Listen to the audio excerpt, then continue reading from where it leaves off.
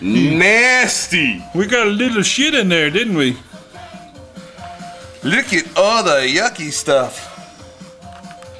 Cats are dry. It's floaters. No DCX, there's no problem with this fucking antifreeze.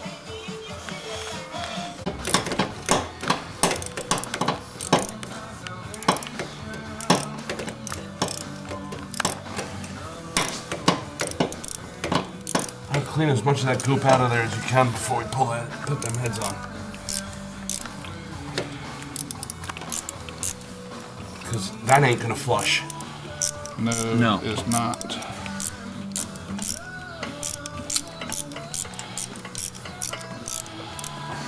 Pulling out the caulking here.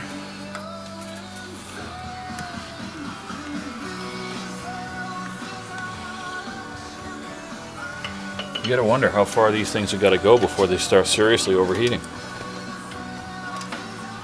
Start having to replace radiators and shit. Yeah, Yeah. no shit.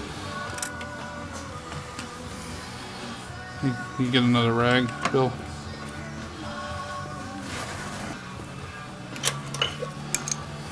This is incredible amount of caulk.